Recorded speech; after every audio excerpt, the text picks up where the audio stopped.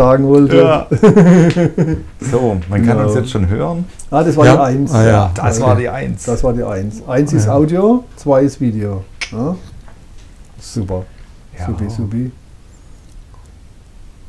Und auf die Art und Weise kommt natürlich Berts Buchladen auch immer toll zur Geltung, der alte Zeitgenosse. Hat er man- Transparent da hinhängen können?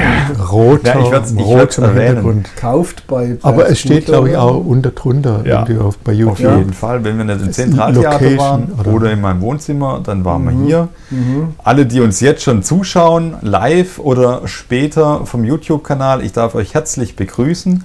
Herzlich begrüßen darf ich als Gäste auch den Erhard Hofmann und der Kreisrat Reinhold Riedel.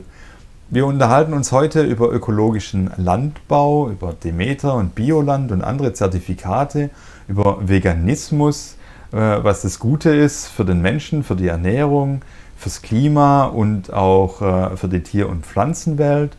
Wir haben mit dem Einzelstadtrat Erhard Hoffmann auch äh, quasi nicht bloß einen Landtagskandidaten zur Landtagswahl aus dem Wahlkreis Kalf da, sondern auch einen Einzelstadtrat, der zum Thema naturnahe Gärten auch berichten kann, wie man auch Mehrheiten findet, äh, auch wenn man ganz alleine in einem Gremium ist.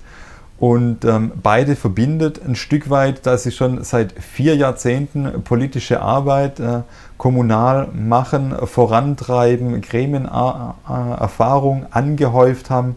Es verspricht ein spannender Abend zu werden. Und lieber Reinhold, möchtest du kurz was zu dir sagen, bevor wir dann zu Erhard übergehen? Also ich bin, glaube ich, nur als schmückendes Beiwerk. Ihr seid die beiden Kandidaten für den Landtag und ähm, ich kann gern was zu mir sagen. Ich war oder bin in Esslingen geboren, bin eine Zeit lang in Indien aufgewachsen und ähm, habe in Hohenheim studiert und war hier in, Ho in, in Esslingen äh, eine Zeit lang im Gemeinderat und jetzt bin ich äh, für die Linke im Kreistag in einer Fraktion mit vier Mitgliedern. Und ich habe beruflich ähm, mehrere Jahre Landwirte und Gärtner beraten, die umstellen wollten von der chemisch-technischen Landwirtschaft auf die irgendeine biologische Landwirtschaft, meistens Demeter oder Bioland. Und darüber unter anderem werden wir heute offensichtlich auch reden. Auf jeden Fall. Und Reinhold Riedel kennt man vielleicht auch, wenn man sich die politische Matineen in Esslingen anguckt. Da sitzt er öfters mal als Moderator auf dem Podium mit ganz spannenden Menschen und Themen. Aber jetzt vielleicht erstmal zu dir, lieber Erhard. Ja, also ich komme aus dem badischen Landesteil, genauer gesagt aus dem Landkreis Karlsruhe, wo ich 1955 zur Welt kam. Äh, bin von Beruf Diplom-Sozialpädagoge und habe einem Kolbing-Bildungswerk in Stuttgart eine betriebswirtschaftliche Zusatz Zusatzausbildung absolviert. Schon eine Weile her. Äh, seit 40 Jahren bin ich schon so im Schwabenland zugange alles zusammengerechnet mit Unterbrechungen und habe Anfang der 80er Jahre grüne Aufbauarbeit in Weilerstadt gemacht. Das hat mir dann 1984 ein Kreistagsmandat beschert, was ich dann zehn Jahre lang ausgeübt habe. War ich Mitglied der Grünen Kreistagsfraktion. Um die Jahrtausendwende habe ich dann meinen Wohnsitz nach Kall verlagert und mich einige Jahre der Politik enthalten, bis ich dann per Zufall Zufall ist ja das, was einem zufällt. Ne? Äh, auf eine Zeitungsannonce gestoßen bin, wo die linken Kandidaten gesucht haben für die Kommunalwahl. Und was ich in Karl vermisst habe, war das Vorhandensein eines oppositionellen Ortsverbands. Grün hat sich aufgelöst, ist absorbiert worden von der FDP. Die FDP ist absorbiert worden von einer Wählergruppe.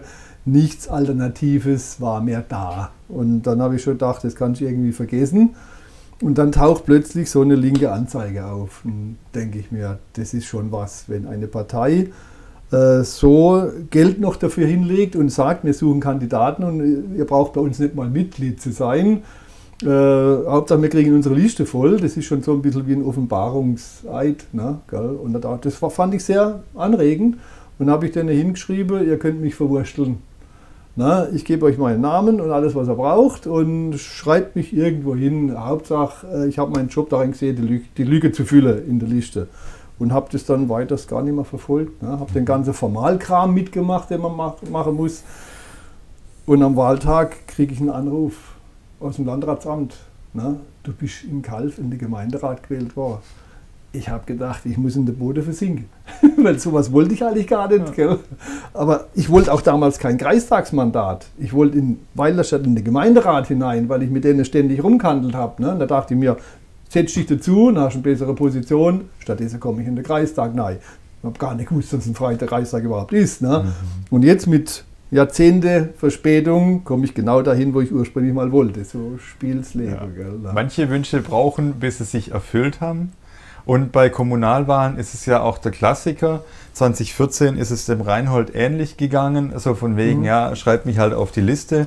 Äh, und dann hatte er plötzlich das zweitbeste Ergebnis. Aha. Und nicht bloß im Gemeinderat Esslingen, mhm. sondern auch im Kreistag. Und dann war mhm. aus äh, Gründen äh, schwierig, beides zu machen. Und das ist schon auch, glaube ich, eine Gewissensentscheidung. Bringt man sich vor Ort direkt ein oder ja. macht man im Kreistag vielleicht äh, eher so den Part des Älteren, der mit viel Lebenserfahrung den anderen auch zur Seite mhm. stehen kann. Gut, das war in ja. dem Fall, ähm, mein Vater wurde ein Pflegefall, insofern konnte ich mit gutem Gewissen sagen, ich verzichte auf eines der Mandate, will nur das andere wahrnehmen. Eine Kleinigkeit zu dir. Mhm. So ein bisschen bist du ja dann in der Nachfolge von Hermann Hesse, der so ein bisschen als Jugendlicher mhm. dann äh, davongelaufen ist aus dem Internat. Mhm und, und so ein bisschen der, ja. wahrscheinlich das schwarze Schaf in der Familie, eine Zeit lang zumindest war. Ja, also und, das kann ich gut nachempfinden, äh, wie es ihm gegangen ist, gell, mhm. weil er ja auch aus dem Mief raus wollte. Ne? Da hat mhm. er ja so eine zutiefst kirchliche, enge äh, Geschichte. Ne? Er sollte ja Priester werden und hat dann irgendwann gesagt, ich werde entweder Schriftsteller oder gar nichts. Ne? Mhm und haut dann ab, macht seine Liebschaften, äh, hält vom Vaters Direktiven nichts, gell? wird dann krank drüber und so eine ähnliche Vita habe ich auch. Ne? Mhm. mhm. Ich habe mir alles auch vom Elternhaus gelöst, äh, gegen den Willen der Eltern. Gell? Musste mich dann ohne irgendwelche finanzielle Unterstützung dann durchkämpfen. Ne? Die haben darauf spekuliert, der kommt bestimmt wieder, wenn er kein Geld hat. Ne? War nicht so. Mhm. Wobei der Hesse hat ja immerhin bei seinem Großvater Gundert. Mhm. Hermann in, Gundert. Genau, in ja. Kalf dann äh, auch die Welt kennengelernt. Ja, die, der Indologe. Der Indologe, genau, hat ja. da mitgekriegt, hat, äh, dass die Welt äh, etwas weiter ist als die mhm. enge pietistische ja. Und Welt. das war der Vater. Der Vater von ihm war dieser enge Pietist. Ja, ja, sage, ja. Gundert war ja auch Missionar in Südindien. Ja, der hat ein bisschen einen weiteren Blick gehabt. Genau. Ja. Entschuldigung. Das verbindet ja, dich dann ja. mit Hesse. Ja. ja. Vom Rad hatten wir schon. Da hat Hesse ja letztendlich auch ein Buch geschrieben, unterm Rad. Wir hatten es im. D. Ja, ich weiß, aber wegen der, wegen der äh, Überleitung. Wir hatten es im Vorgespräch mhm. ja auch schon vom Rad und dass die Tibetaner sagen, dass. Es wäre jetzt dein Part einzusteigen. Wenn das Rad in die Welt kommt, kommt die Unruhe in die Welt. Mhm. Und mit der Unruhe dann auch der Krieg, ist ja schon auch was dran, gell? Ja das Rad beschleunigt. Ne? Und äh, sieht man ja heute, Thema Geschwindigkeitsreduktion, ne? wie sich die Menschheit dagegen stemmt, ne? weil sie halt die Beschleunigung will. Ne? Und jetzt kommt Corona und jetzt werden sie gebremst.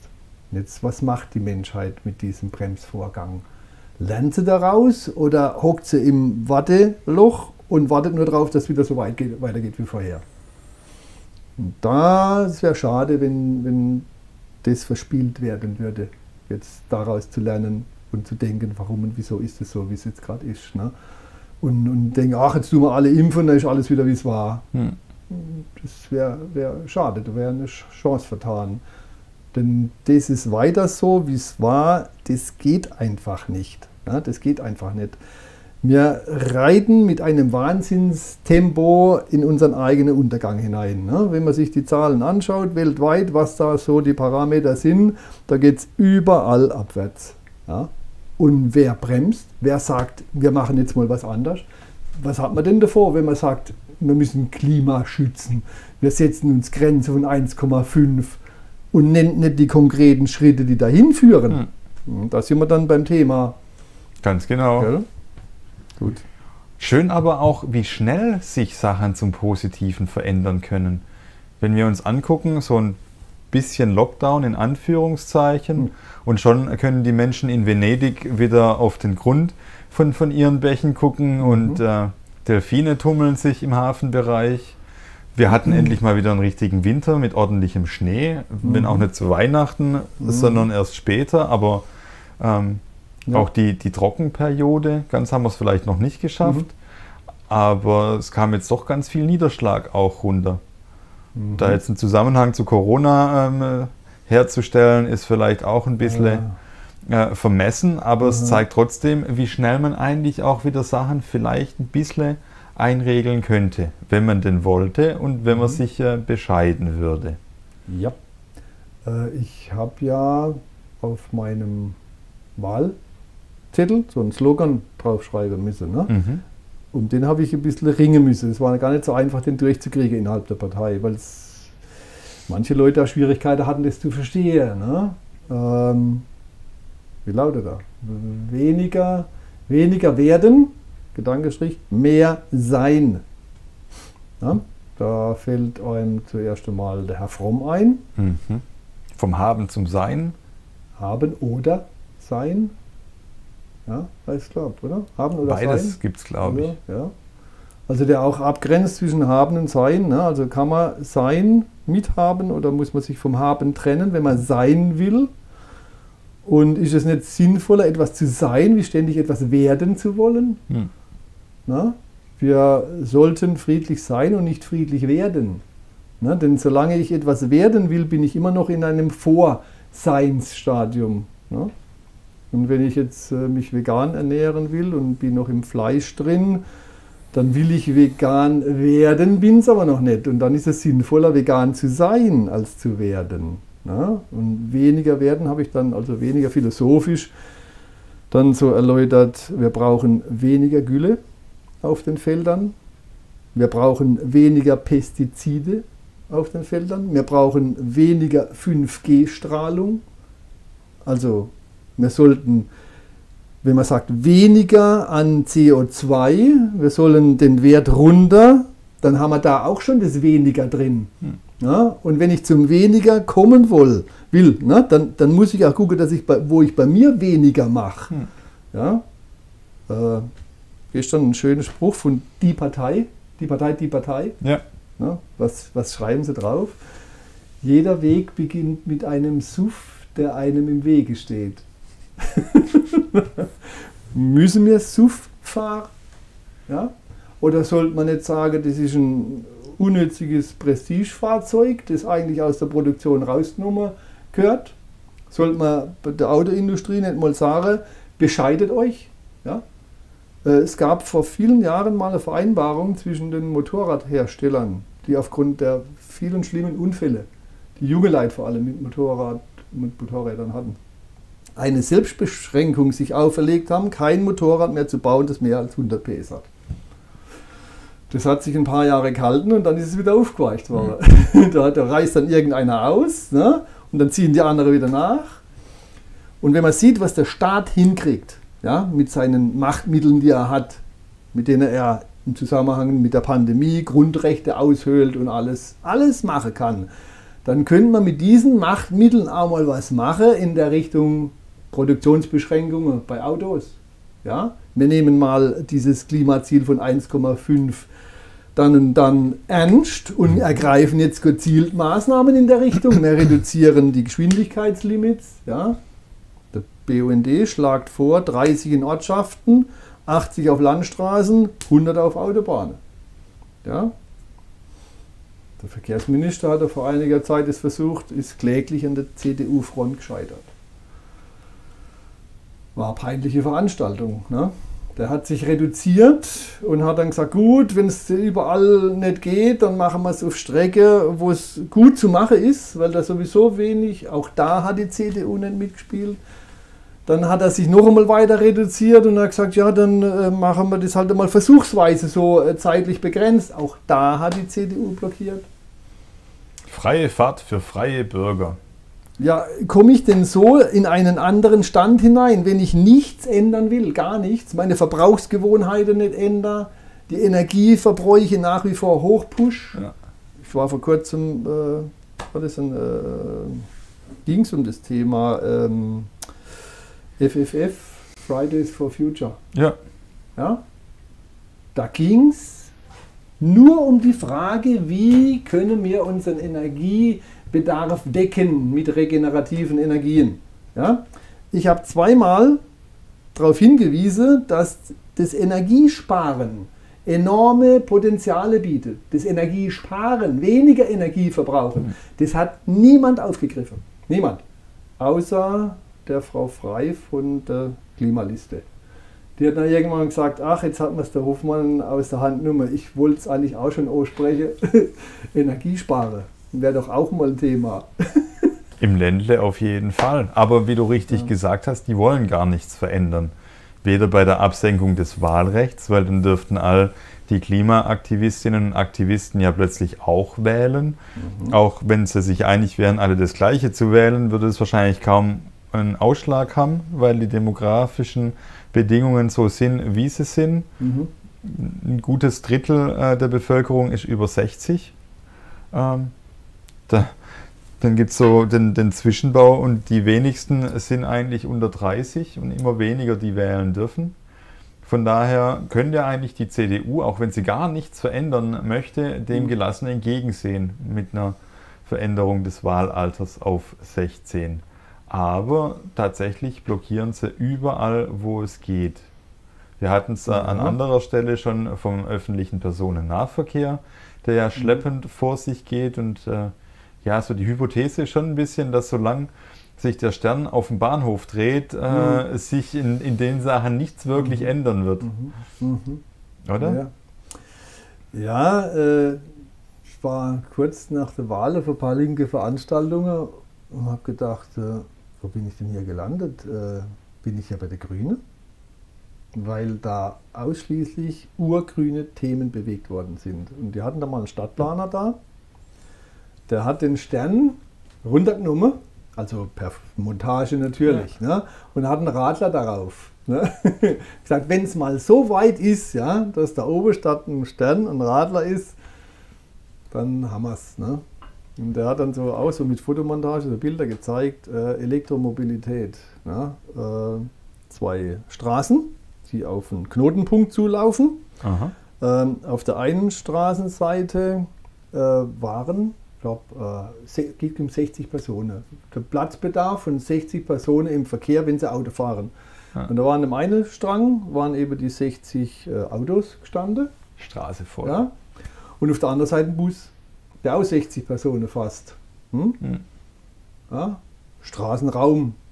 Ja? Könnte man auch die Bürgersteige verbreitern, ja? jede Menge Platz, alles Mögliche umzugestalten, äh, menschenfreundlichere Stadt. Ja? Bus. Und dann hat er gesagt, jo, jetzt schauen wir uns mal an, wie das aussieht mit Elektroautos. Ja? Bus weg, Elektroautos hin, hat es links und rechts genau gleich ausgesehen. Ja, klar. Weil das ist nicht nur das Abgas, was das Auto problematisch macht, es ist auch, Stichwort, der Weg beginnt mit einem SUV, der mir im Wege steht. Ne? Der Platzbedarf des Autos Ja. und das Drumherum, die ganze Verkehrstechnik und Sicherungstechnik und die Schilder, alles fürs Auto dominiert die Städte. Und die Bürger müssen sich die Städte zurückerobern, indem sie das Auto zurückdrängen. Auch müsste es in der Masse zurückgedrängt werden. Und es muss nicht jede Familie drei Autos haben. Vielleicht uns zwei auch. Ja? Ich bin lange Jahre ganz ohne Autos gekommen. Ja? Auch im Land draußen. Man muss sich halt disziplinieren und die Busfahrtzeiten im Kopf haben. Das geht, wenn man es will. Die Frau Frei hat erzählt, sie fährt jeden Tag neun Kilometer in die Arbeit. Der FDPler fährt mit dem Auto. Er hat es wahrscheinlich nicht immer so weit und sagt dann zur Erklärung, ja, äh, er, er wohnt im Hang irgendwie. Ja. Ja. Und, und wenn er da raufradelt und dann möchte er so verschwitzt sich seinen Kollegen nicht zumuten. Das ist eine faule Ausrede. Ne? Man kann doch heutzutage überall auch duschen. Ja. Schon. Vor allem könnte man sich ja dafür Ja. einsetzen, dass es auch eine Dusche am Arbeitsort gibt. Ja, ja. Und äh, Stichwort Jobrad ist die teuerste Möglichkeit, zu einem Fahrrad zu kommen, weil du das dann quasi über Jahre auch noch mit deiner Rente bezahlst, Mhm. dieses Fahrrad. Aber die Arbeitgeber finden es total geil, dass du quasi Mhm. ein Stück weit auf Lohn verzichtest, um dir ein Fahrrad zu kaufen auf ihre Kosten. Ist im öffentlichen Dienst äh, ein ziemliches Thema gewesen. Mhm. Sprich, ähm, dann zu sagen, okay Arbeitgeber, wenn du mir eh helfen willst, ein Fahrrad zu kaufen, Mhm. dann hilf mir doch auch zu duschen. Äh, Mhm. Liegt ja eigentlich der Knochen vorm Hund. ja. Aber das wusste ich nicht mit dem Jobrad. Ich Jobrad? dachte, das wird alles vom Arbeitgeber bezahlt. Jobrad ist quasi ein Fahrradleasing, wo du dein Einkommen, einen, einen Teil davon quasi ähm, dann bezahlst. Die Leasingrate gehen mir vom Lohn weg. Ja, genau. Aber was ist denn daran dann Jobrad? Der Nein. Arbeitgeber zahlt da gar nichts dran. Der beteiligt sich ein bisschen, Ja. aber vor allem äh, spart er sich von deinem Bruttolohn was ab, weil du das quasi auch vom Bruttolohn finanzierst, dieses Fahrrad. Aha, aha, Dementsprechend hast du dann mehr Aha. netto, weil sich dein Brutto absenkt. Ähm, aber je nachdem, wie lange Ah. du dieses Fahrrad hast, hast du das Fahrrad halt nicht mehr und zahlst immer noch dran. Und dadurch, dass du weniger Brutto hast, Ja. zahlst du es dann auch mit deiner Rente. Aber das ist ein ganz anderes Thema. Okay. Eigentlich, Ja. wo ich hin Ja. will, ähm, ist, dass man ja die Innenstädte anders nutzen könnte. Wir haben uns jetzt Mhm. hier in Esslingen vor kurzem eine weitere Fußgängerzone gegönnt und die Frage war ja schon, wie wollen wir sie gestalten, was wollen wir gerne haben? Wollen wir lieber Obstbäume, wollen wir überhaupt Bäume, wollen wir Nischen für Kultur? Und was die Obstbäume betrifft, könnte man dann ja vielleicht auch die eine oder andere Biene füttern, oder? Also was Natur in der Stadt angeht, äh, muss dringend was passieren, wenn man die Städte klimatauglich machen will. Wenn man davon ausgeht, dass äh, Hitzeperioden verstärkt das Leben in der Stadt erschweren, bringt die Natur überall in jeder Gestalt, wie man sie reinbringt, Kühlung. Sie bringt Schatten, äh, sie trägt zur Atmosphäre bei, sie verbessert die Luft, Pflanzen produzieren Sauerstoff. Stichwort Fassadebegrünung, Stichwort Wasser, Brunnen, offene Bachläufe. Solche Sachen müssen da rein in die Stadt, um für diese Geschichten gewappnet zu sein. Dachbegrünungen wirken auch klimaausgleichend in der Stadt. Sie schützen die Dachhaut, von, wenn die Leute unbedingt meinen, dass sie Dach, äh, Flachdach brauchen, dann haben sie mit der Dachbegrünung ein dauerhaftes Dach, weil der Dichthaut eben halt unter 6 oder 12 cm Substrat nichts passiert. Ne? Mhm. Ist nicht kaputt nach 6, 8 Jahren, ne? Sondern hebt so gut wie Ziegeldach. Für Dachbegrünungen ist auch noch Mangelware. Ne? In Stuttgart haben sie eine Zeit lang mal die äh, Gründächer bezuschusst und mit dem Ergebnis, dass Stuttgart heute, ich glaube, die höchste Dichte an begrünten Dächern, hauptsächlich Carports und Garagen und so und, und Hütten, so, ne? ist auch mit grüner Beteiligung ja, wieder abgesetzt worden. Mhm. Ja. Entgegen dem Rat vom zuständigen Amt, Gartebauamt oder wer das da in der Hand hatte, die gesagt haben, äh, das ist ein prosperierendes Feld, wir raten nicht, äh, das einzustellen. Trotzdem ist es mit den Stimmen der Grünen eingestellt worden, Mhm. Programm. Ich habe es dann versucht im Kalver Gemeinderat äh, das mit, mit hineinzubringen. Das waren äh, vier Anträge. Da ging es unter anderem um Dachbegrünungen, da ging es um Aufklärung an Schulen zur, zur Strahlengefahr, ja? Stichwort WLAN und Co. Ne? Und dann war es noch was äh, Mühl im Wald. War ein bisschen unausgegoren, mit schneller Nadel gestrickt. Mhm. Äh, was durch, durchgegangen ist, das waren die naturnahen Gärten mit 10.000 Euro. Ja, das war geil. Also erste, erste Beratung im, im Gemeinderat, ich war noch nicht recht intronisiert, ja, Ja. bringe ich schon so eine Antragsflut und es geht tatsächlich einer durch. Ich, fand ich gut. Ja, ähm, jetzt, ich hätte gern mit da noch ein bisschen mehr Kontakt mit den Leuten aufgenommen, die das mitgetragen haben, weil waren auch ein paar dabei, die den Müllantrag noch Aber der war zu schwach, der ist Aha. nicht durchgegangen. Aber äh, das Signal war, wir nehmen das Thema wichtig, äh, Herr Hoffmann, bleiben Sie doch dran. Ja. Äh, aber dann heißt es Corona, man soll zu den Leuten nicht hingehen und so. Ja. Wenn der Antrag gut ist, das ist Esslinger Erfahrung, dann wird in ein, zwei, drei Jahren irgendeine andere Fraktion auf die Idee kommen, man könnte ja mal. Mhm. Von Mhm. daher Mhm. wird vielleicht in neuem Gewand dein alter Antrag nochmal aufgetragen Ja. werden. Das habe ich im Kreistag oft erlebt. Dass, wenn, wenn wir was eingebracht haben, dann ist es abgelehnt worden, kurz drauf bringt es die SPD und dann, oder CDU oder sonst wer und dann plötzlich geht es Ja. durch. Das ist So. komisch.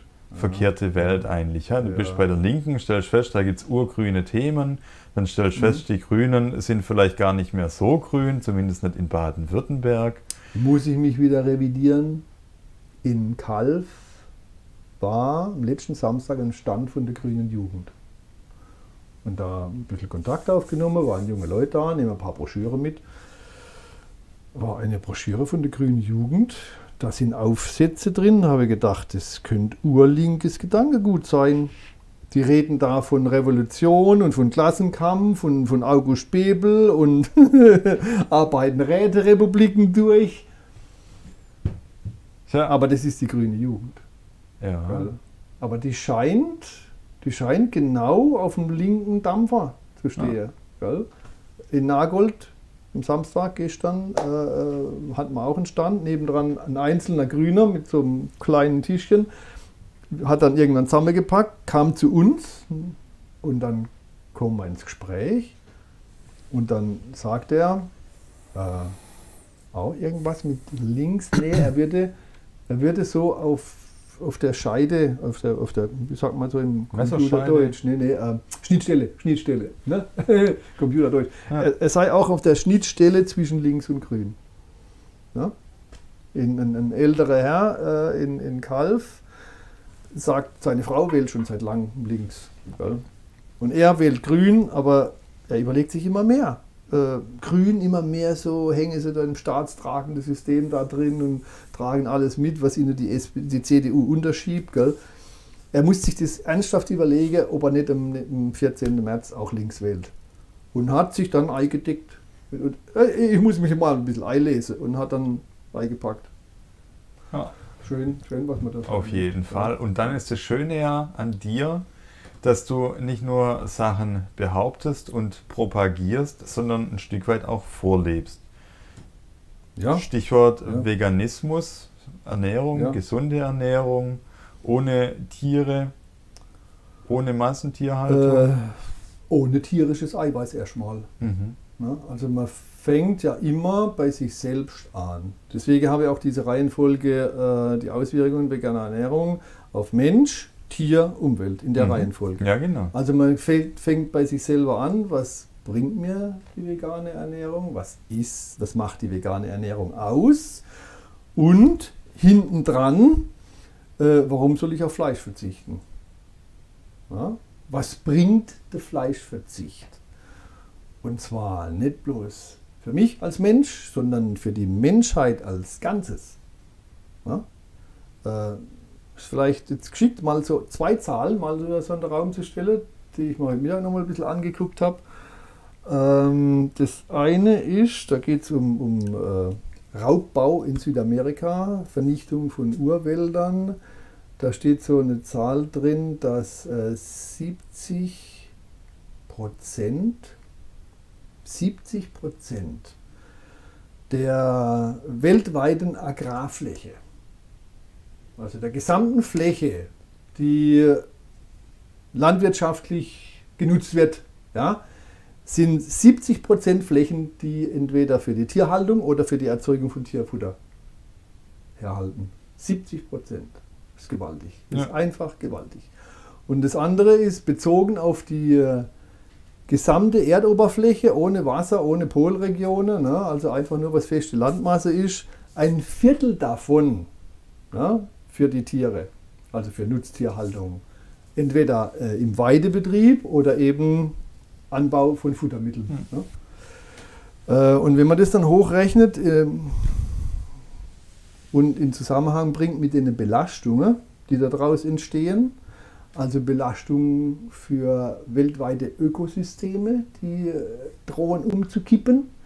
Der Regenwald in Südamerika äh, ist jetzt zu 20 Prozent geplattet. Gell? Man schätzt, dass bei 25 Prozent die Situation kippt. Mit Situation ist gemeint äh, der Regenwald und der Amazonas als Regelmechanismus für das weltweite Klima. Mhm. Gell? Da sind wir dann bei der Klimathematik drin. Und bei den Kipppunkten. Und, ja, und die nicht erst erreicht sind, wenn alles weg ist, sondern bereits weit vorher. Mhm. Eine Population stirbt nicht erst aus, wenn der Letzte nicht mehr da ist, sondern wenn eine bestimmte äh, Größe oder kleine, ne, also Ja. wenn du schrumpft, ne, wenn, dann kommt Inzest ja, Ja. dazu, dann kann sich das Blut nicht mehr erfrischen und dann kippt es und putsch, ist alles weg.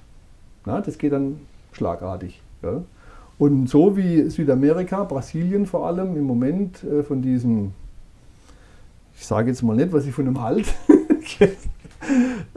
was da abgeht. Ne? Also äh, blindwütig einfach weiterhin alles platt mache. Kein Sinn für irgendwelche ökologischen Notwendigkeiten. Immer voll drauf, voll Gas rein. Gell? Wir machen alles platt. Gell? Hauptsache die Kohle stimmt. Ja? Wobei man da ja dazu sagen muss, es geht ja leider auch bei ganz vielen dieser Flächen um den Export von Futtermitteln nach Ja. Europa Ja. für diese Massentierhaltung. Ja.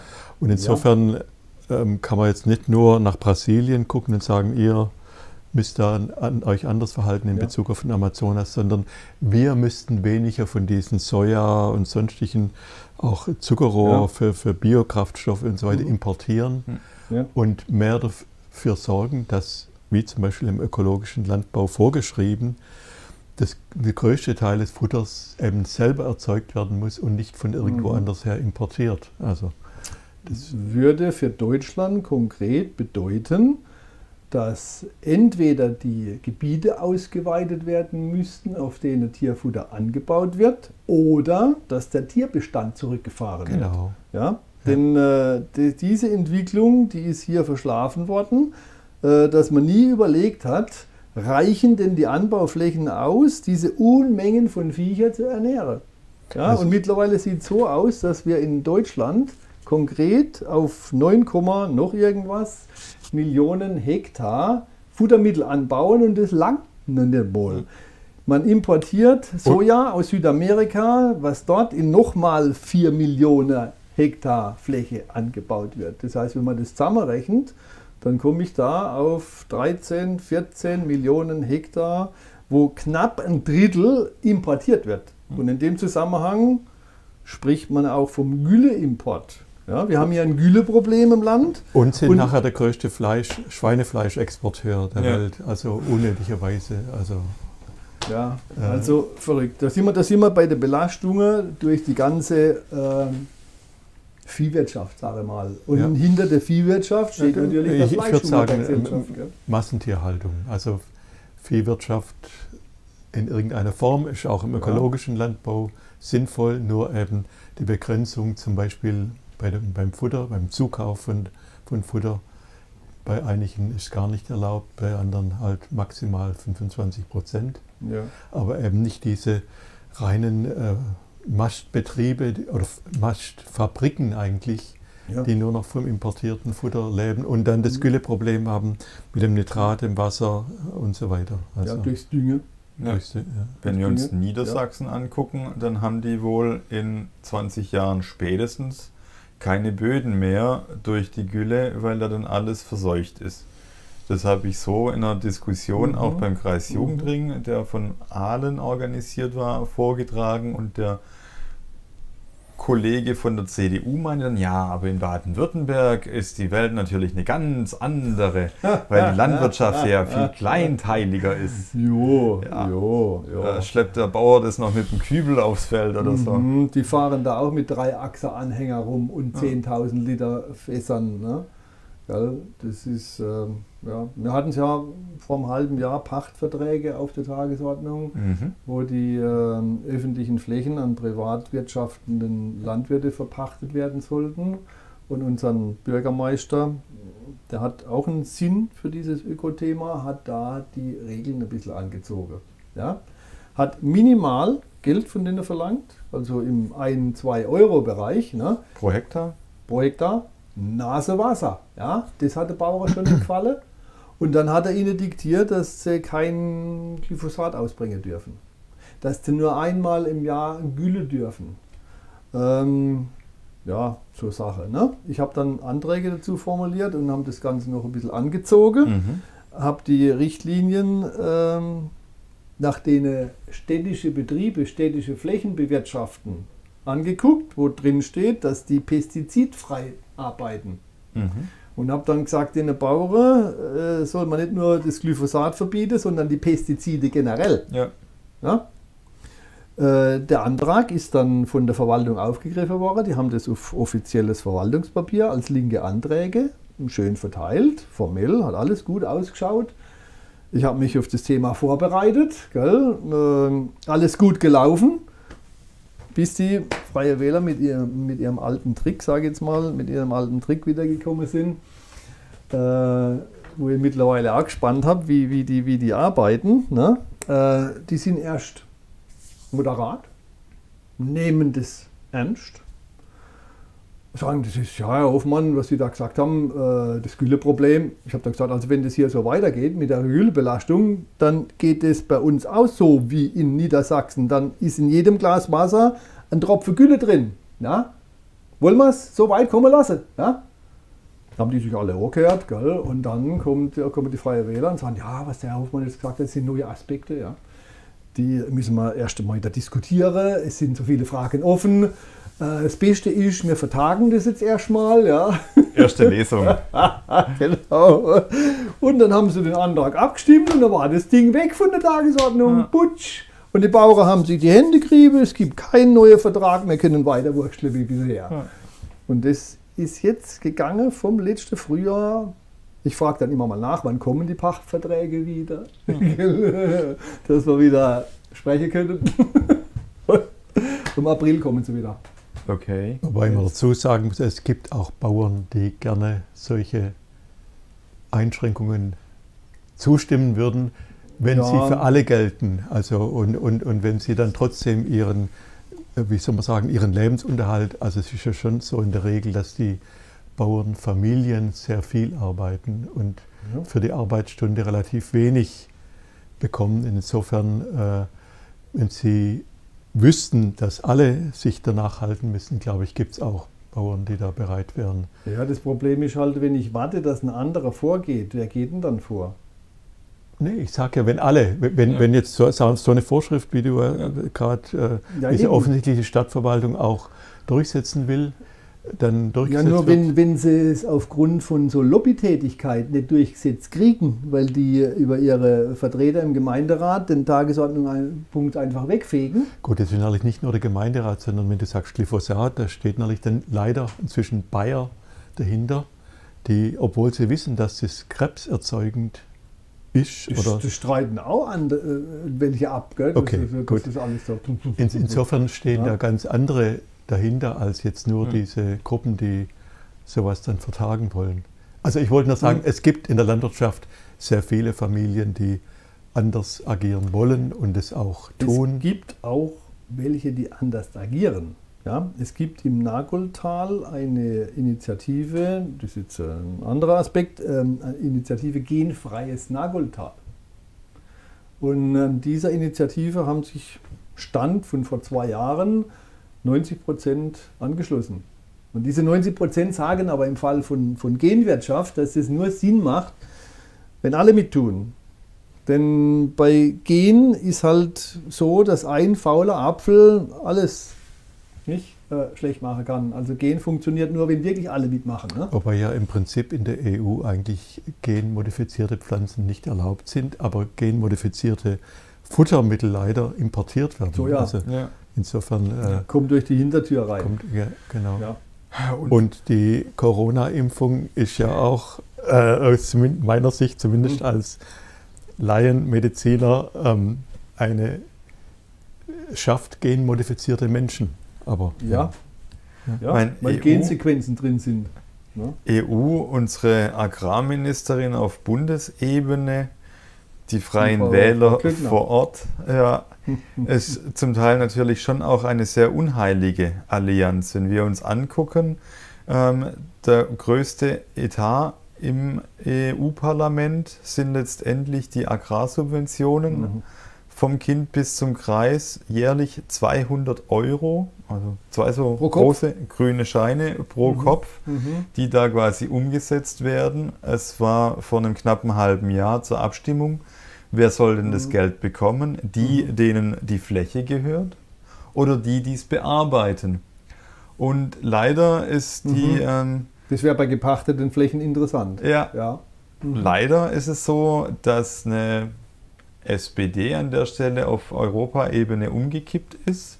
Oh, da, sind sie, da sind sie gut drin im Umgeben. Äh, Leider heißt es, dass die nächsten sieben Jahre ähm, es weiterhin so sein wird, dass diese Subventionen an die Menschen gehen, denen das Land gehört. Und es müsste natürlich nicht nur an die gehen, die es bearbeiten, sondern die es ökologisch bearbeiten und eben nicht an die, Ja. äh, diejenigen, die mit Riesentraktoren oder äh, automatisch laufenden Maschinen Ja, äh, eine Massentierhaltung betreiben. Mhm. Das ist das eine. Das andere ist, was ich vorhin erwähnt habe, mit dem Export von Schweinefleisch. Das ist ja leider so, dass diese Exporte, weil sie so stark subventioniert sind, in Afrika oder wo auch immer die dortige Landwirtschaft kaputt machen. Mhm. Also inzwischen kann ein, äh, eine Hausfrau oder ein, ein Hausmann, ein Koch, der in Accra in Ghana äh, ein Hühnchen äh, kochen will, kriegt es billiger tiefgefroren aus der EU als Mhm. der Bauer, der, der dort, sagen wir, äh, 20 oder 200 Hühner äh, auf dem Markt verkauft oder hat und dann Ja. äh, jeweils drei, drei Stück verkauft. Obwohl die Leute wissen, dass hier aufgewachsene Huhn schmeckt besser, sowohl als Suppenhuhn als auch als. also das äh, dort in Afrika aufgewachsen. Meine ich ja. ja. ja. Mhm. Mhm. Trotzdem, weil das andere so viel billiger ist, äh, machen diese Exporte der EU den Landwirten in diesen armen Ländern das Leben noch schwerer. Machen da den Markt kaputt. Und machen vor, Markt vor die kaputt. Wahl gestellt, fünfmal billiges Hähnchen die Woche essen zu können oder dreimal wohlschmeckendes, äh, entscheiden die sich halt vielleicht auch für fünfmal Fleisch die Woche. Und das Problem haben wir hier ja auch. Ein Stück weit äh, es, es Bioprodukt zu nennen und konventionelle Landwirtschaft ist ja eigentlich schon ein Stück des Holzweges äh, gegangen. Weil eigentlich müsste ja Bio-Lebensmittel das Lebensmittel sein und alles andere etikettiert werden, Ja. das äh, halt nicht Ja. das kostet, was es kostet, sondern subventioniert ist oder dementsprechend über die Masse verbilligt ist, Mhm. dass die Qualität eigentlich nicht stimmen kann. Ja. Aber billig, billig, wenn ich ein halbes Kilo Fleisch für 3,50 Euro bekomme oder noch Mhm. günstiger im Sonderangebot im Supermarkt, äh, wer, wer macht sich da großartig Gedanken? Und warum muss es denn immer Bio sein? Zumal wir hatten es vorhin auch von den Bio-Etiketten. Äh, da gibt es ja quasi auch eine Hierarchie der, der Label, die Mhm. man erreichen kann. Mhm. Wir kamen auf das Thema ökologischen Landbau, Bioland und Demeter äh, in, einer, in einer Diskussion, weswegen der Reinhold ja auch heute Abend da ist, weil es eben die Unterschiede gibt, die auch nachweislich, wenn wir Demeter nehmen, besser von Boden ist, das heißt quasi Mehrwert erschafft durch, durch die Bearbeitung. Und wir hatten es vorhin beim Stichwort Massentierhaltung, dass man Böden auch äh, zugrunde richten kann, indem man sie einfach nur ausbeutet. Ja. Also äh, nur ganz kurz dazu, also Ja. so ähnlich wie unsere Haut uns schützt und eigentlich ein Mikrobiom enthält mit Milliarden oder Billionen von Lebewesen inklusive Viren, Mhm. die auf uns, in uns leben und ohne die wir gar nicht leben könnten. Ja. So ist es so, dass diese ganz dünne Schicht von Mutterboden, lebendigem Mutterboden, eigentlich die gesamte Lebensmittelproduktion sicherstellt. Also die Pflanzenproduktion, die dann wiederum natürlich zur Ernährung von Tier und Mensch dienen. Und ohne diese Schicht ähm, würden wir eingehen. Und, und äh, die Gefahr durch diese, diese verschiedenen hochtechnisierten ähm, Produktionsformen, auch der Massentierhaltung, dass dieser Mutterboden kaputt geht oder durch Erosion verloren geht, Mhm. durch äh, im Amazonas, durch die Abholzung und so weiter, die Gefahr besteht, ganz klar. Mhm. Und ähm, insofern trägt der ökologische Landbau ganz sicher dazu bei, dass dieser lebendige Boden bestehen bleibt.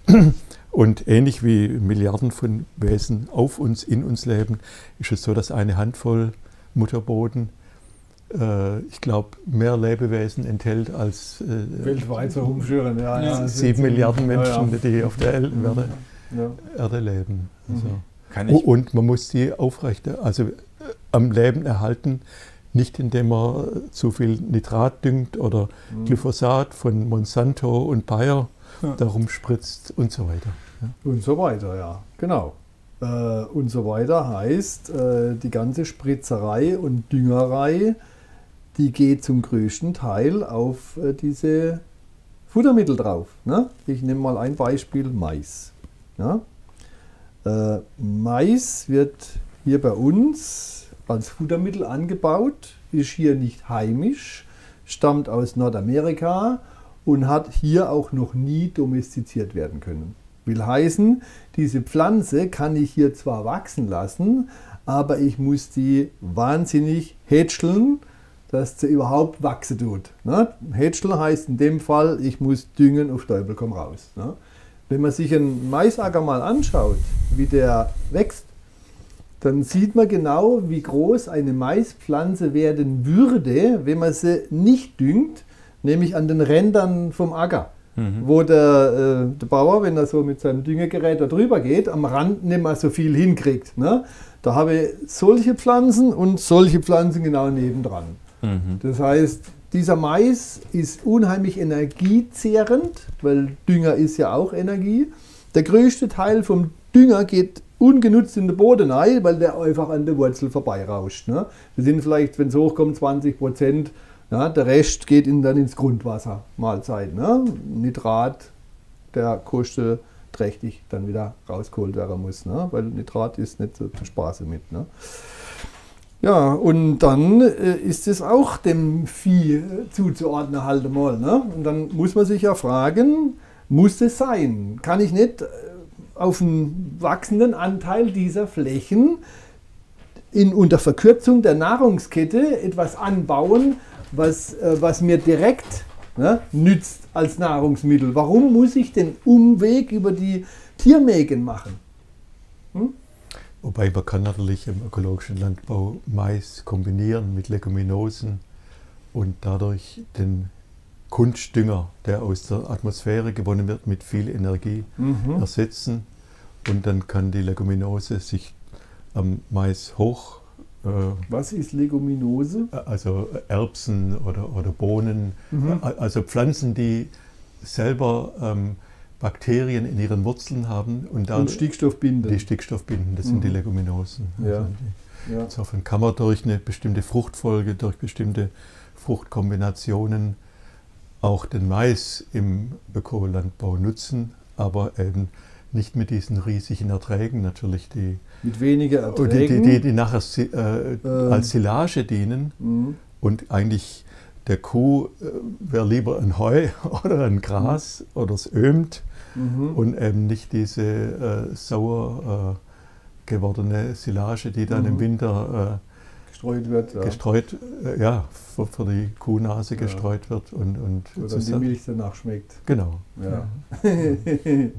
ja gut, aber selbst wenn ich das jetzt in, in Ökoweise mache, dann ist es immer noch ein, ein Stück Boden, was nicht direkt das erzeugt, was ich essen kann, sondern das geht auch über der Tiermarke. Ma ist Ma ja dann- Mais, ja Mais, dann auch du, Tierfutter. Mais kannst du essen, also den, Der den. Maiskolben. Ja klar. Der ist Mais. Aber der Mais, der hier Also angebaut jeder wird, Mais hat auch immer eine, einen Ja, Kolben, der- den du essen kannst. der ist Mais. Ja? Man kann auch den Mais essen, aber der Mais, der bei uns auf Feldern angebaut wird, der geht entweder in die äh, Biogasproduktion, das ist auch so eine fragwürdige Geschichte, Sehr oder in fragwürdig, ja. Rindermägen als Futter, als Futtermittel, als Futtermais. Ja, gut, aber wenn du guckst, was Ja. in Mexiko oder wo auch immer, die Leute holen sich Ja, den Maiskolben. Kann man auch, und, aber das äh, ist nicht die Situation bei uns, die wir haben. Doch, wir, wir sind nicht die auch. großen Maisesser, Nee, aber die der, der, der, Italien- Großteil vom Mais geht in die Rindermägen hinein. In Italien, Hm? Polenta, ja, Maisgrieß,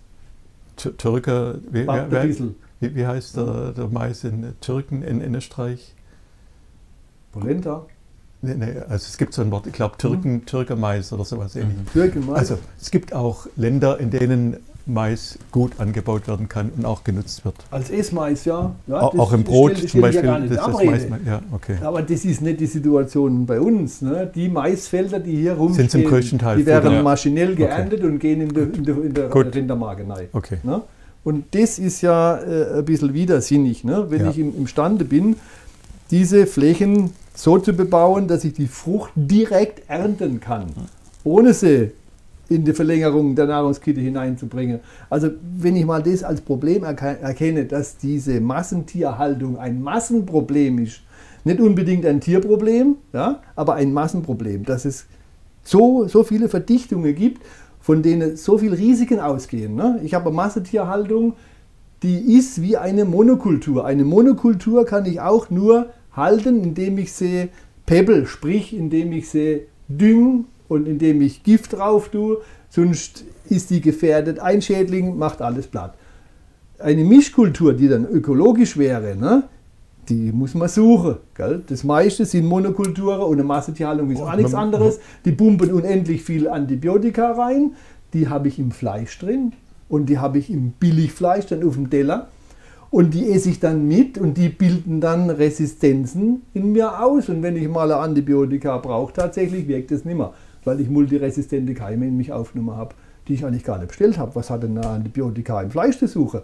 Aber das geht da nicht anders. Die Bauern, die tun vorsorglich ihren Viechern Antibiotika in Mengen verabreichen, dass es einem schlecht wird. Ich frage mich, wie die Viecher das überhaupt aushalten. Und trotzdem sind 50 Prozent der Tiere eigentlich schon abgestrichen. Also wenn jedes zweite Tier durchkommt in der Massentierhaltung, dann äh, stimmt die Kasse schon mal. Ist es so, ja? Ziemlich sicher, ja. Das heißt, die haben große Ausfälle, Ja, trotz der Antibiotika. äh, trotz der Antibiotika, durch Verbiss und äh, Mhm. wenn, wenn du dir anguckst, dass ein äh, Brathähnchen, ähm, wenn es am Spieß hängt, mehr Platz hat wie zu Lebzeiten, dann, ja, klingt bitter, ist aber so. Aber wir haben Ja. im Prinzip hier einen. Zettel reingereicht bekommen. Aha. Die Lebensmitteldiscounter sind auf die vegane Ernährung mit auf den Zug aufgehüpft. Wie passt es zusammen, Mhm. als Veganerin solche Konzerne zu unterstützen? Widerspricht das Mhm. nicht der gesamten Philosophie, die dahinter steckt? Ja, äh, man muss dazu wissen, dass äh, die, äh, die Lebensmitteldiscounter Discounter verstehen, schnell auf einen Modezug aufzuspringen. Mhm. Wenn die merken, dass Bio boomt, ja, dann hängen die immer auch eine Bio-Ecke bei sich rein. Ne? Ähm, mittlerweile tut auch die Firma Aldi äh, sich anpreisen als äh, Biohändler Nummer 1. Ne? Mhm. Und Lidl äh, freut sich, dass Bioland bei ihnen die Regale füllt. Ist es so, ja? Kam vor kurzem zumindest in der Werbung. Mhm. Bioland, Ja. Also dieser Bioland. Bioland sagt zumindest Lidl. Gut, wenn es dem so ist. Also was ich von diesen Vegan-Angeboten mitgekriegt habe, ist das vegane Mischt. Mhm. Ja? Da steht zwar drauf vegan, weil kein tierisches Eiweiß drin ist, aber was sonst so neigepanscht wird in die Konserve, äh, Farbstoffe, Aromastoffe, E-Nummer sowieso, E-Nummer sowieso, das ist da auch alles mit drin. Ja? Und ich kann auch, wenn ich Vegetarier bin, zum Pudding-Vegetarier werden. Mhm. Ist der bekannte Begriff? Pudding-Vegetarier. Das ist der Vegetarier, der halt seine Bedürfnisse nach Genuss äh, an der Kuchentheke befriedigt. Hm. Ne? Und das ist auch diesem Vegetus, diesem Tüchtigen natürlich auch entgegen. Ja? Und wenn ich sage, ich nehme vegan, Hauptsache steht vegan drauf und futter dann den ganzen Mist mit, der da reingepanscht wird ne? und die dann trotzdem vegan draufschreiben, Einschließlich dem Dann- Glukosesirup, damit es auch zuckerfrei ist. Also es gab dann, schon dann auch ist mir auch nicht gedient. Ja. Gell? Also da muss man halt ein bisschen differenzieren. Ne? Es gab schon auch in den 80er Jahren diese Diskussion. Da gab es ja am Anfang diese Bioläden und die Biohändler, die nur Bio angeboten haben. Und nach und nach haben es dann eben auch die Handelsketten übernommen, dass sie eine Bio-Ecke einrichten. Und ähm, es haben sich viele Bauern zunächst mal dagegen gewehrt. Und ich denke, auf der anderen Seite haben sich die meisten dazu entschieden zu sagen, sie befürworten das, auch das Bioland oder Demeter-Sachen mhm. in, in den ähm, Handelsketten angeboten werden, weil sie davon überzeugt sind, je mehr Landwirte ähm, so anbauen können, desto besser ist es für den Boden, für die Tiere, für den Menschen, auch für den Verbraucher. Das, äh, äh, sagen wir, die Bioläden waren meistens noch ein bisschen teurer als äh, die Handelsketten und insofern, ähm, wenn man die in Anführungsstrichen gesundheitlichen Wohltaten, die in einer Biomilch stecken oder in einem Biobrot, auch normalen Verbrauchern angedeihen lassen kann, waren die Bauern froh, das so zu handhaben und auf einen gewissen Einkommen äh, zu verzichten. Mhm. Also ich fand den, fand den Schritt, sagen wir damals in den 80er, 90er Jahren richtig. Ob es jetzt bei den Discountern sein muss, ich gehe da nicht hin, weiß nicht, was sie hm. alles anbieten oder nicht also anbieten. Ich würde mal zum Lidl gehen und gucken, ob das tatsächlich Bioland ist oder ob die nicht irgendwie getrickst mhm. haben, damit es nur als Bioland erscheint oder so. Weil Bioland ist eigentlich, so wie ich es kenne, wirklich nur in guten Bioläden. Und ich habe sogar äh, Demeterbauern kennengelernt, die gesagt haben, sie verzichten auf die Vermarktung ihrer Milch als Demetermilch und geben das bei der Genossenschaft ab, die das dann in der äh, normalen Milch eben als Anteil mitverarbeitet mhm. und, und, verkauft, weil sie meinen, dass die Qualitäten, die, die Licht- oder sonstigen Qualitäten, die sie in der Milch anbieten, dann einer breiteren äh, Schicht zugutekommt. Mhm. Also, und, und ähm, sie brauchen nicht unbedingt deshalb mehr D-Mark oder Pfennig oder mhm. Euro mhm. bekommen. Wobei die Auflagen, und da sind wir so ein Stück weit bei dem nächsten Thema, bei Demeter und Bioland ja relativ hoch sind. Also Demeterbauer wirst du jetzt nicht nebenher, sondern da gibt es ja quasi jemand, der dich berät. Du hast, du hast auch Beratung gemacht, eher im konventionellen Bereich, glaube ich auch. Ähm, du wirst quasi ein Stück weit auch überwacht als Demeterhof. Um, ja, vor allem haben die eine unabhängige Kontrollinstitution. Mhm.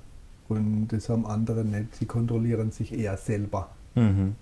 Also die bezahlen quasi die Kontrolleure und damit sind die Kontrolleure nicht mehr unabhängig. Und das ist, glaube ich, beim Demeter anders. Mhm.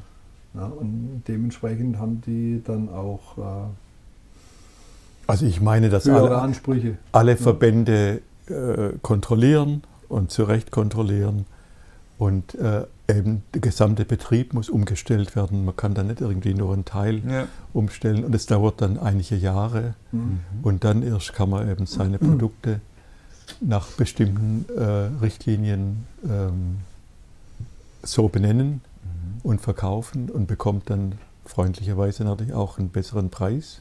Ja, und, und, und, und ne? Demeter hat sich auch die, mit die längste Geschichte als Organisation von 1924 durch ein, also das sind Bauern auf den Rudolf Steiner zugegangen, haben ihn gebeten, mhm. ähm, ihnen Vorschläge zu machen, wie sie die Qualität der Lebensmittel und die Geschmacksstoffe, die äh, wiederherstellen können. Und seit 1924 gab es dann Forschungsringe äh, und Gruppen, die versucht haben, dann diese Vorschläge von Steiner umzusetzen. Im, im organisch-biologischen Landbau gibt es ja auch schon lange, jahrzehntelange äh, Vorarbeiten von anderen äh, Wissenschaftlern, die dann aber in den, bei uns in Deutschland im, in den 70er Jahren dann zur Gründung von Bioland geführt haben. Mhm. Bei, bei, gesagt, bei Demeter geht es noch vor dem Zweiten Weltkrieg zurück. Mhm. Feiern bald 100. Geburtstag. Ha? Ja. So. Mhm. Schöne Überleitung zur nächsten Frage. Das heißt, Bio-Siegel ist nicht gleich Bio-Siegel. Ähm, wie verhält es sich mit dem Bio-Siegel? Ich habe gehört, dass ein Anteil von 20% reicht, um das Siegel zu bekommen. Das kann ja jetzt quasi nicht Bioland und nicht Demeter sein, sondern irgendein eher. Siegel sein. Da gibt es bestimmt ein halbes Dutzend oder mehr. biologisch abbaubar. Also es Ja, gibt von, das- von der EU Ja. gibt's äh, Biosiegel, Hm. die Ja, ähm, das ist das, das EG-Bio. genau. Sechseckiges äh, Mhm, ja. Feld. Ne? aber wie gesagt, bei Bioland und Demeter ist es so, dass der gesamte Betrieb umgestellt sein muss und mindestens drei Jahre lang schon umgestellt haben Ja. muss, bevor man dann sagen kann, das ist ein Bioland. Also bei, wenn das Produkt. nicht genau benannt wird, Ja. ja. dann also müsst, müsst praktisch gucken, wie heißt das Siegel, kann man bei Bioläden einsehen. Mhm. Da gibt es Tabelle, wo man genau gucken kann, wie heißt das Siegel und wie sind die Anforderungen dahinter.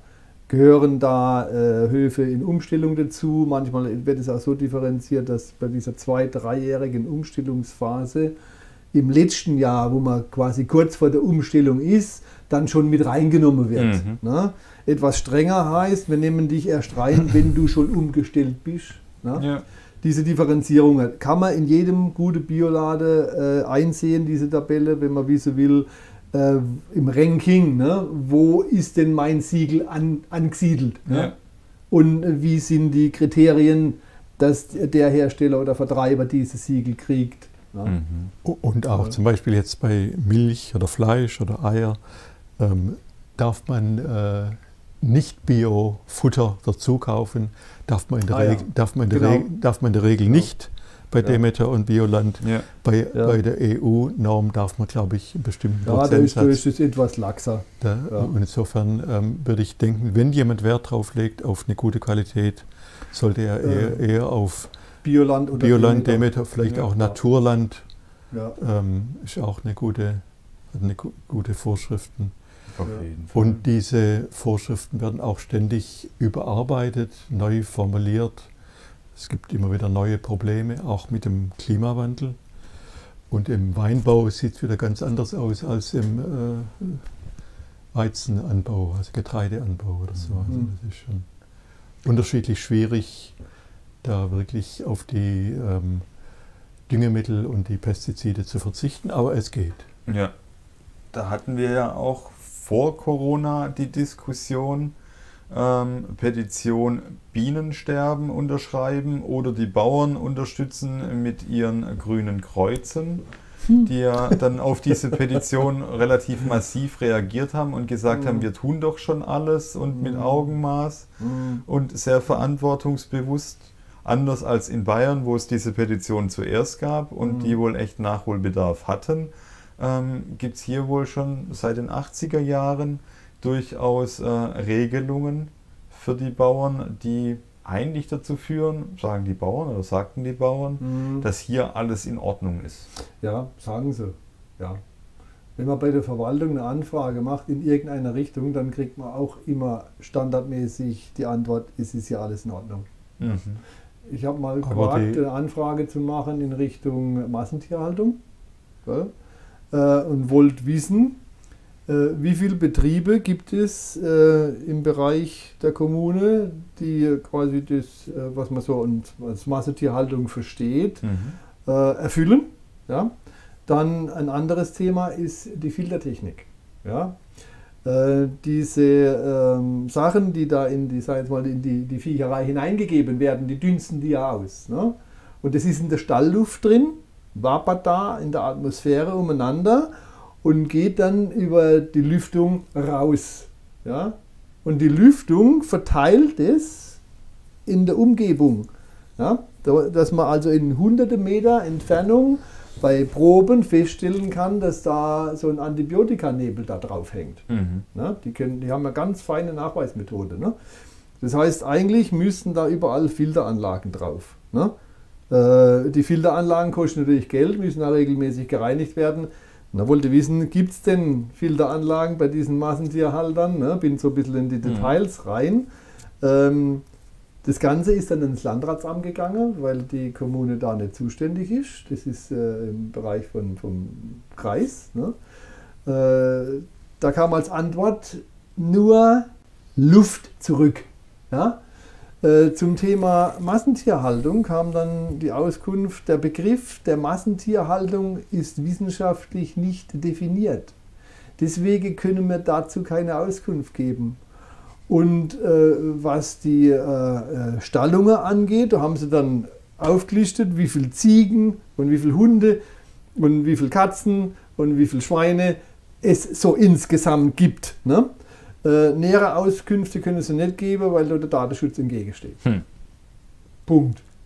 Das war alles. Konnte man politisch nichts, gar nichts davon verwerten. Mhm. Ne? So, äh, so arbeiten die, ja, und der zuständige Kollege, ich sage jetzt mal keinen Namen, der ist verschwägert mit dem Bauernverband. Ne? In Gärtringen ist ein Begriff, äh, der Chef von, von dem Gärtringer Skandalschlachthof äh, ist der Papa vom Vorsitzenden vom Bauernverband. Der Bauernverband als Lieferant der Schlachttiere und der Papa der Chef vom Schlachthof. Ja. Äh, dann gibt es auch noch Verbindungen in die Kreistagsfraktionen hinein, hm. die es fertiggebracht haben, über Jahre hinweg so ein einen Ermahnungsprozess einfach in der Schwebe zu halten. Ne? Immer da hinzuschreiben, es müssen bauliche Veränderungen mhm. gemacht werden, die dann nie gemacht worden sind, erst als die Soko Tierschutz da rein ist. Mhm. Und hat heimlich Filmaufnahmen gemacht und hat die dann ins Internet gestellt. Dann sind sie aufgewacht im Landratsamt und sind hin und haben den Lade zugemacht. Wo man sich auch fragen muss, warum muss erst ein Soko Tierschutz kommen? ja, damit das Landratsamt ihre Hausaufgabe macht. Letztlich ist alles so eine Philosokratie, die es immer wieder versteht, Dinge unterzuhalten, die notwendigst ans Licht sollten. Zum Glück haben die mit FFP2-Masken keine Masken, äh, keine Geschäfte gemacht und vergessen, das zu versteuern. Ha? Sonst müssten sie jetzt überlegen, ob sie ihre Ämter ruhen lassen wollen. Aber Reinhold äh, ich wollte wollt nur sagen, dass sagen wir, die Initiatoren dieses Volksbegehrens äh, für die Biene. Für die ja, Art, äh, also in Insektenschutz ja. war es ja und, mhm. und, und dem Versuch, das Artensterben einzugrenzen. Die haben ja dann, nachdem es Gespräche gab mit dem Landwirtschaftsministerium und Umweltministerium und ein Entgegenkommen äh, der Landtagsfraktionen, haben sie ja dann ihr Volksbegehren zurückgezogen und waren relativ zufrieden mit dem, was mhm. äh, dann vorgeschlagen wurde. Ob das jetzt alles so umgesetzt wird und äh, sowohl die Bauern als auch den Artenschutz ähm, zufriedenstellen, weiß ich jetzt nicht. Mhm. Aber insgesamt ähm, denke ich schon, dass einige Schritte in die richtige Richtung gemacht werden sollen. Mhm. Und sollen. wir hoffen nur, dass das dann auch im neuen Landtag nicht irgendwie zurückgezogen wird, sondern tatsächlich dann umgesetzt ja. wird. Und ja. Also wenn man da noch eine Weile zuwartet, dann gibt es keine Arten mehr, die man noch Schütze braucht. Ich will dir da nicht widersprechen, ich will nur die Bauern ein bisschen in Schutz nehmen. Es gibt diese Philosokratie, Bauernverband auf Bundesebene, auf Landesebene mhm. und mit der Regierung und mit den verschiedenen Fraktionen. Aber es gibt auch immer die Bauern, die wirklich, die Bauern, die wirklich, sagen wir, ihr, ihren Boden, ihr Land, ihren Hof so bearbeiten wollen, dass tatsächlich das Leben weitergeht und dass sie das an die, die nächste Generation weitergeben können. So und, und, von und, der letzten Generation übernommen haben. Ja, und, und, und nicht als toten, äh, toten Acker oder als, mhm. als, äh, als äh, toten Betrieb übergeben. Also die, die gibt es auch, also, oder Klar. in der Mehrheit würde ich sagen. Stichwort Blühstreifen. Wäre das etwas, das wir dann wenn wir demnächst im Landtag von Baden-Württemberg sitzen, hm. vorantreiben könnten, dass äh, jeder Hektar quasi 10% Blühstreifen hat, um äh, da nachhaltig wirken zu können, ähm, Nischen und äh, ja. Grünstreifen für Flora und Fauna? Mhm. Oder ist es nur ein frommer ja. Wunsch? Ähm, wo es fehlt, also das, ich spreche jetzt für die Kommune, wo mhm. ich im Gemeinderat äh, bin, dass da schon Anstrengungen in Anführungszeichen unternommen werden in der Richtung, ja, die aber eben, wie man sagen, das Papier fast nicht wert sind, auf diese geschrieben sind, wenn die Mechanismen vor Ort nicht da sind, die Dinge auch zu kontrollieren und gegebenenfalls zu sanktionieren. Mhm. Ja? es ist seit langem einfach Usus, kann man überall beobachten, wenn man weiß, wie es geht, dass die Bauern bei ihrer Bodenbearbeitung immer sehr dicht an den Weg dran gehen. Tatsache ist, dass diese öffentlichen Wege grundrechtlich nicht nur der Weg sind, der befahren wird, sondern immer auch ein gehöriger Streifen nebendran, Mhm. einen Meter oder mehr. Ja? Den der Bauer korrekterweise gar nicht bewirtschaften dürfte. Mhm. Und das ist der Bereich, wo eigentlich Blühstreifen früher immer auch gewachsen sind, wo Mhm. man noch eher einen Sinn für die Dinge hatte. Ne? Äh, der eine Bauer macht's, die gibt's, die guten Bauern gibt's, klar, stelle gar nicht in Abrede, sie sind halt nicht in der Mehrheit. Äh, die machen's, die allermeisten machen's nicht. Ja? Früher ist ein Feldschütz rumgelaufen und hat nach dem Rechten geschaut. Und wenn er gemerkt hat, dass der Paul oder der Richard da irgendeinen Mist macht, weil er Grenzsteine versetzt, Nacht, bei Nacht und Nebel oder so, ne? und dann äh, hat er dem auf die Finger geklopft. Ne? Oder hat es dann sonst schon Bürgermeister gemeldet. Ne? So ein Kontrollmechanismus, der fehlt. Und das Mhm. wissen die Bauern, dass der fehlt. Ja? Dass sie eigentlich machen können, im Prinzip, was sie wollen. Sie können einen Blühstreifen machen, schön, sie kann es auch sein lassen. Es ist kein Sanktions- und kein Kontrollmechanismus da, der darauf guckt. Das gleiche bei der versteinerten Gärte. Ne? Seit August sind die eigentlich verboten Schottergärten. die Schottergärten. Trotzdem werden sie immer noch angelegt. Ja? Ich mache dann Meldung, wenn ich irgend sowas mitkriege, dann geht ein Schriftverkehr los. Ja, wir müssen erstmal uns prüfen. Wir müssen uns zusammensetzen. Wir müssen überlegen, wer muss da alles gefragt werden. Passiert tut nichts. Mhm. Ja? Das ist, das ist ein Problem. Das ist ein Problem. Aber und, gut. und solange man so einen Mechanismus verordnet hat, Mhm. kann man vom Landtag aus Verordnungen schreiben, so viel wie man will. Die lassen sich politisch gut verkaufen, aber wenn sie verordnet umgesetzt werden, wie gesagt, sind sie das Papier nicht wert, auf das man schreibt. Und da fehlt es. Da fehlt's. Das wenn, heißt, wenn die- wir aber das umsetzen, was wir vorhin gesagt haben, dass die Subventionen, die die EU und die das Land, die der Bund vergeben an die Bauern, eben auch solche Blühstreifen mit beinhalten. Die kann man koppeln. Das kann man genau, koppeln. das, das Genau. wollte ich sagen. Und Ja. dann wird's, müsste es natürlich auch kontrolliert werden. Mhm. Sie, Ja. Die Sachen werden ja auch kontrolliert, soweit ich weiß, äh, von, mit Satellitenfotos, dass man einen Teil der Gelder, die man ausschüttet, anhand der äh, Be Bepflanzung oder der, ähm, die, die kontrolliert werden können, dann könnte man auch sowas kontrollieren. Und Mhm. ich bin sicher, dass viele Bauern das gerne machen würden. Und ähm, es gibt dann vielleicht immer die schwarzen Schafe, aber es gibt auch die weißen Schafe. Also die, die es gerne Und- machen würden, die können es ja machen. Die können's Niemand machen. hindert sie daran. Ja, aber es mindert natürlich ihr Einkommen. Äh, in- Insofern wäre eine Subvention, wo man, wenn, wenn die wissen, ich habe da äh, etwas weniger. Also wenn sie auf dem Land das Kulturfläche. ihnen nicht gehört, das ihnen nicht gehört, ja, Blühstreifen wachsen lassen, dann die- ist das eigentlich legitim. sagen wir, die, diese Blühstreifen und auch insgesamt die Flurbereinigung, sagen wir, die, die Landschaften, die früher äh, Bäche und Hecken und, und äh, Wassertümpel beinhaltet hatten, Mhm. die sind ja ganz zum großen Teil ähm, Schon seit Jahrzehnten weg, oder? weg, bereinigt worden, um Mhm. die maschinelle Bearbeitung zu erleichtern. Und wenn Mhm. man diese Dinge Die eben, maschinengerechte Landschaft, ja, wenn man versucht, die wieder Ja. äh, so herzustellen, damit tatsächlich äh, Rebhühner oder, oder, oder Hasen Ja. oder, oder Insekten äh, Wieder was finden. wieder was finden und leben können, dann müsste man das auch, sagen wir, ähnlich wie man es macht für die auf der Alp mit Flächen äh, Wacholderheide oder sowas mit Schafherden. Mhm. Äh, und dann kann man nur machen, wenn man den Schäfer tatsächlich subventioniert. Das kann man, das äh, lohnt sich für ihn nicht. Und das müsste man eben in der Fläche genauso machen. Und ich glaube, dass die Bauern dazu bereit wären und froh wären eher, wenn sie wieder einen, äh, eine, einen Hof hätten, der intakt ist und Sie haben es doch Äh. in der Hand, das zu machen. Sie haben es doch in der Hand, das zu machen. Sie können das doch nach den Richtlinien, die Sie gerade geschildert haben, können Sie es doch machen. Niemand verbietet es Ihnen. Die Frage Bauern, ist, warum die Bauern sind seit Jahrzehnten unter dem Druck wachsen oder weichen. Mhm. Und das Wachsen bedeutet eben einfach, sich auch dieser äh, chemisch-technischen Landwirtschaft anzupassen.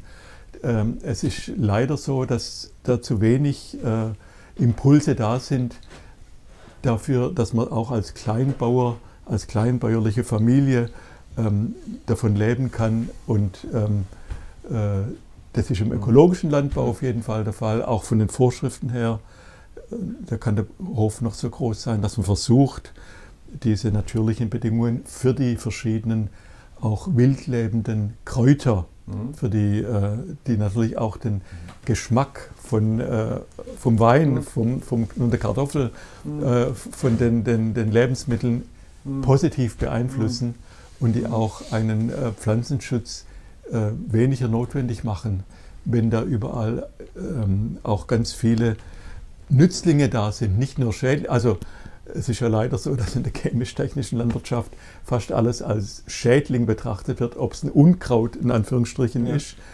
Äh, es ist nicht ein Beikraut, Alles- sondern ein Unkraut. Alles, und, und jedes, jedes Insekt ist ein Schädling und nicht ein, mich. nicht ein Ja, Nützling. und Und in der biologischen Landwirtschaft kann es zehnmal mehr äh, Insekten und Mikroben geben und da gibt es ein Gleichgewicht und das, dann bleibt der Baum, bleibt die Pflanze, bleibt der Acker gesund. Aber, ja. Ja, und es Und das muss man unterstützen, glaube ich, auch Ja. finanziell und auch von den Vorschriften. Ja, und her. zwar mit den Subventionen, die, die ich dann einfach umschichte. Ne? Ja. Genau. Und fördere das, was ich haben will und Ja. nicht das, was ich nicht mehr will. ja. Nicht das, was jetzt in den letzten Jahren halt dazu geführt hat, dass 75 Prozent der Insektenbestände äh, Ja. nicht Verschwunden mehr da, sind, verschwunden ja. sind. Ja. Und es sind ja nicht bloß die Insekten, die sterben, sondern auch die Bauern. Bauern im Nebenerwerb. Ähm, Bauern, die gerade vor allem dann auch die Zufahrten von Discountern mit vier Buchstaben lahmlegen, weil sie sagen, hier mit den Preisen können wir nicht mehr existieren. Mhm. Ich glaube Ja. schon, dass da viel Idealismus dabei ist, weil viele auch, vor allem hier im Großraum Stuttgart, schon vor Jahrzehnten zu der Firma mit dem Stern gegangen sind und halt Mhm. nebenher vielleicht noch ein bisschen Landwirtschaft betrieben Mhm. haben, wenn überhaupt, weil So, man Feierabendlandwirte. ja, oder halt Mhm. auch nicht mehr, weil auch das anstrengend ist. Ja. Dann gibt es ganz viele, die gerade so über die Runden kommen oder halt vor allem damit beschäftigt sind, Kredite abzubezahlen für ihre Landmaschinen, die ja im Mhm. Laufe der Zeit auch immer größer werden mussten. Mhm. Ähm, insgesamt ein diffiziles Thema, dem wir uns vielleicht an Mhm. anderer Stelle nochmal widmen könnten. Äh, dass sich was ändern muss, ist, glaube ich, allen klar.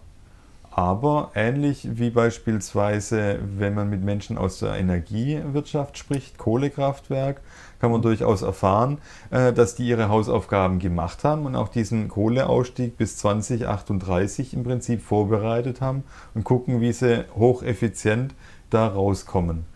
Kriegen jetzt aber Schelte, weil es halt nicht schnell genug geht und weil sie die bösen Menschen in den Kohlekraftwerken sind. Und ähnlich geht es dem einen oder anderen Bauer vielleicht auch, der im Rahmen seiner Möglichkeiten schon alles versucht, aber halt Schelte dafür kriegt, dass es noch nicht schnell genug ist und noch nicht vollumfänglich genug.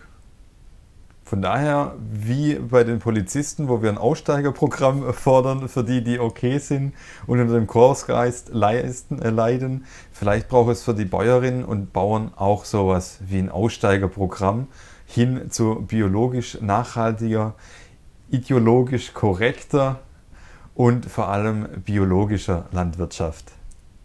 Die Programme gibt es Ja? und zum Glück gibt es zunehmend äh, Familien, die sich Mhm. darauf einlassen. Und ähm, sagen wir, in den letzten Jahren ist ja der Anteil immerhin von 5 auf im, im Durchschnitt, je nachdem, ob man Flächen oder Anzahl der Höfe rechnet, von 5 auf 10 Prozent gestiegen in den letzten 30 Jahren. Mhm. Und es soll natürlich bis mindestens 20 Prozent steigen in den nächsten Mhm. 10, 20 Jahren. Also Wir in Esslingen haben das Glück, dass wir einen Erzeugermarkt haben, weitestgehend zumindest, bis auf zwei oder drei Marktstände. Das heißt, wir haben zumindest schon mal die Möglichkeit, uns regional zu versorgen. Toll wäre auch, wenn man das fördern würde, beispielsweise in der Mensa, beim Mittagessen in der Kita, ein Schulessen hatten wir heute Mittag schon uns überlegt, wenn das auch regional ökologisch korrekt wäre, hätten A, die Bauern ein sicheres Einkommen äh, und b, die Kindermägen würden mit vernünftigen Mikroben und vollwertiger Kost heranwachsen. Wenn wir dann noch gucken, dass jedes Jahr weniger Zucker damit beigemengt wird, dann hm. würden wir unheimlich Kosten im Gesundheitssektor sparen und damit wäre das Ganze dann auch schon wieder refinanziert. Mehr als refinanziert. Bleibt sogar noch was übrig, das können wir dann verjubeln. Ha? Esslingen hat ja früher mit dazu beigetragen, dass die Stuttgarter was zu essen hatten. Also da gibt es genügend Flächen. Und haben noch das Filterkraut mitverarbeitet. Mhm. Aller Hengstenberg. Aller Hengstenberg, ja. mit der Straßenbahn runtergefahren und dann mit der elektrischen und dann mhm. verarbeitet. Ja. ja, halt hoffen wir, dass die U-Bahn schnell wieder ausgebaut wird. Aber bevor wir jetzt in Erinnerungen schwelgen und Zukünftiges in die Gegenwart holen, ähm, es bleibt noch was übrig. Wäre ein gutes Stichwort, wenn ihr was übrig habt, weil ihr so gut haushaltet und im Biomarkt immer nur die Sachen kauft, die gerade auch saisonal angeboten werden, könnt ihr uns das gerne spenden. Äh, wenn ihr sagt, ich habe nicht so viel Geld übrig, dass ich spenden kann, aber ich will aktiv bei der Linken sein, kommt vor Ort vorbei. Den Kollegen aus Kalf kennt ihr jetzt. Der freut sich bestimmt auch, wenn er am Infostand angesprochen wird. Es gibt sicherlich noch einen vor der Wahl. Möglicherweise am nächsten Freitag oder Samstag. Mhm. Wird dann aber über äh, Instagram und Facebook äh, gepostet. Okay, auf Facebook könnt ihr ihn auf jeden Fall liken. Und, und die Kandidatenwebsite. Ja. Also, ja. wer Näheres wissen möchte über unseren Kandidaten auf, aus Kalf, schaut mal nach äh, Edgar Hofmann. Erhard. Äh, Erhard, Erhard Hofmann, Entschuldigung. Äh. Bei uns in Esslingen kann man auf jeden Fall äh, aktiv werden. Uns findet man auf der Inneren Brücke kommenden Samstag am Infostand. Uns findet man vielleicht bei einer virtuellen Wahlparty am Abend des 14. März oder auch in Präsenz das ist noch nicht ganz sicher. Ähm, auf jeden Fall könnt ihr mit uns in Kontakt treten. Schaut euch auch die anderen Sendungen auf YouTube an, wenn es euch gefällt. Leitet es weiter, animiert alle möglichen Menschen zur Wahl zu gehen. Wenn irgendetwas als Quintessenz aus all diesen Sendungen ähm, heraussticht und als Fazit gelten kann, dann ist es, geht wählen, wählt die Linke, schaut, dass ihr in den Landtag kommt und äh, seid Teil der Veränderung. Herzlichen Dank, lieber Kreisrat Reinhold Riedel. Herzlichen Dank, lieber Erhard. Hat mich gefreut. Ja. Es war mir eine innere Blumenwiese.